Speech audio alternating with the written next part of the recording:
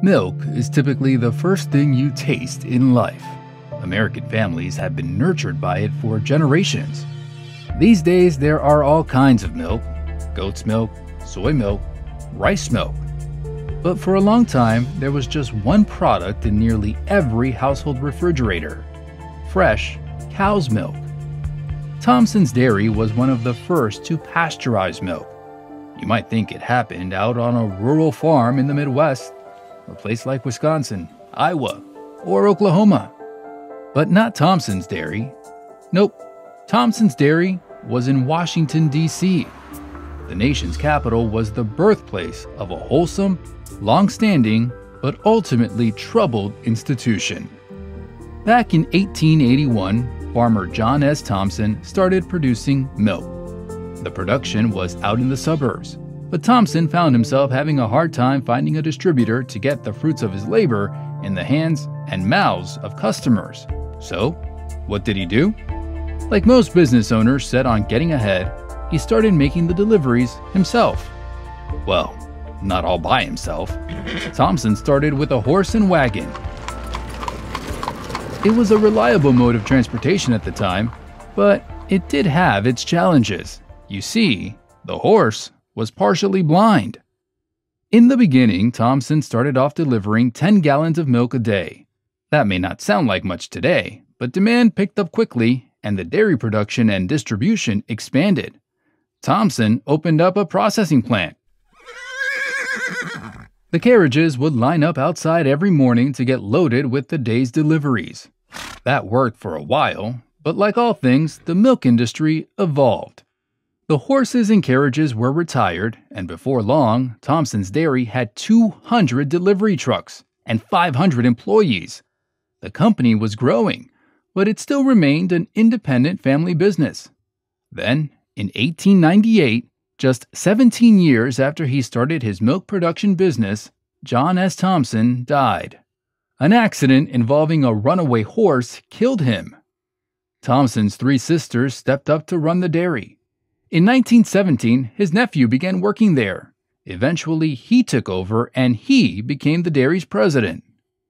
Thompson's Dairy had 50,000 homes and businesses throughout the Washington, D.C. area receiving their products almost every day. The White House was even on the delivery route. Business was going so well, it was time to move into a new, larger facility. In 1927, 45 years after that one man, one horse milk delivery operation started, Thompson's took over an entire city block. The new location was prime real estate in the heart of Washington, D.C.'s entertainment district.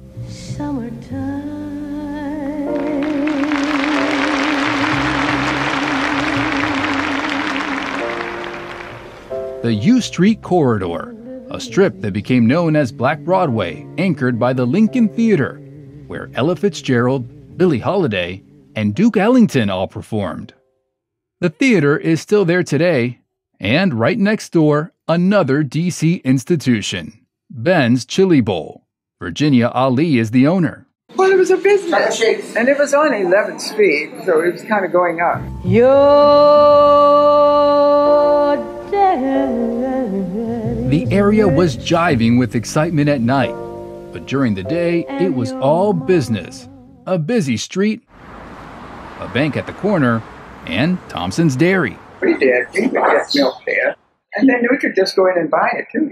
The plant had the most modern equipment a pasteurizing room, machines that filled and capped the milk. Thompson's bottles would separate the cream from the milk so it could be easily poured out. Every classic milk bottle was inspected before heading out for delivery. In the 1950s, three quarts of milk cost 72 cents. Thompson's customers had a lot of other items to choose from too. Cottage cheese, butter, sour cream, and yogurt were produced at the plant. There was an order form to fill out and make requests.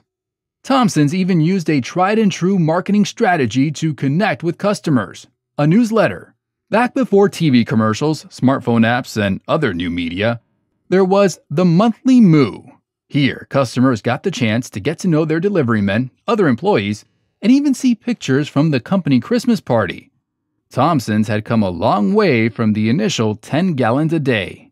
At its peak, Thompson's Dairy delivered 27,000 gallons of milk daily. Metal boxes left on the front stoop would house the milk and other items if no one was home to collect in person.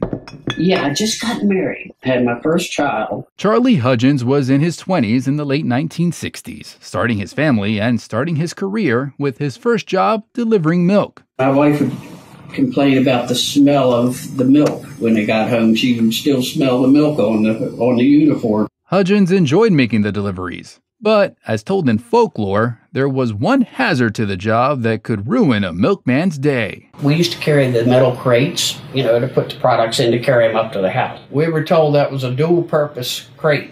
You warded off dogs and animals because they just didn't like milkmen coming in their yard. So I was taught early you use the crate as protection against any animals that are coming at you. So I always, you know, carried my milk crate up to the door, put my milk in the box and everything like that. And for some reason, that one day, I went into this yard knowing there was a dog and just completely slipped my mind. Without my crate, I was just carrying the bottles. Well, I made about two steps up the front stoop there, and here comes the dog after me. He pushed me up against the storm door, and I broke both bottles of milk on the on the the stoop steps there. Scared the living heck out of me. I think I scared the dog too because all the milk and everything went flying. The dogs were one obstacle, but believe it or not, the cows could also get into trouble. Charlie Hudgens recalls a fateful day where he not only had to drop off the milk, but then he had to go right back to pick it up. I got a call from my supervisor out on the route, and he says, You've got to go back to all your customers that you delivered to today and pick the milk back up. I said, What? What are you talking about? He says one of the the uh, farms that supplied milk to Thompson's Dairy, the cows had got out of a certain field and got into a field of garlic uh, grass, onion grass. That's what it was, onion grass, and the onion grass had permeated into their milk and when they, you opened the top of the milk, it smelled like onions. So I said, well, Are you kidding me? He says, No. He said, You got to go back to every one of your customers and pick the milk up and leave a note, explain to them what happened. And I said, You that would take me, it took me all day to deliver it. I got to go back and pick it up now and write notes. But that's, that's what we had to do. Thompson's Dairy had a long, successful run.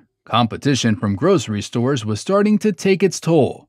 Charlie Hudgens says he could tell things were changing when he started selling unusual products. Christmas candy and tablecloths. I mean, this was all, in, you had to include that with your dairy delivery, you know, knock on the door and say, you know, buy this from me because I'm your friendly milkman, you know, and it was nothing related to milk. Then, in the 1950s, the reputation of the once wholesome milk supplier started to spoil. Thompson's began getting bad press. It seemed that every time the labor contract came up for negotiation, there was tension with the workers' union. All the guys that I was working with were all like, why? You know, why are we doing this? We're going to lose our jobs. You knew in the back of your mind, you know, there was something going on. In 1955, benefits were contentious, but a strike was averted. Then, more than a decade later, in 1969, the dairy disputes were again in the headlines. Finally, two years later, the union negotiations hit the boiling point. This time, dairy workers weren't willing to budge. Some even walked off the job. Home deliveries stopped. It was only a matter of time. June 9, 1971, after 90 years in business, Thompson's Dairy closed. Virginia Ali says the sudden shutdown left some people wondering how to get milk. I remember hearing that the, their dairy was closing and everybody's like, what you And I don't think we were that automated at that time where you could just find a neighborhood store and go buy a bottle of milk. Thompson's Dairy was a victim of the changing times. The cost of milk was going up and competition was moving in. But the union's reluctance to bend on demands for substantial pay increases was ultimately the breaking point.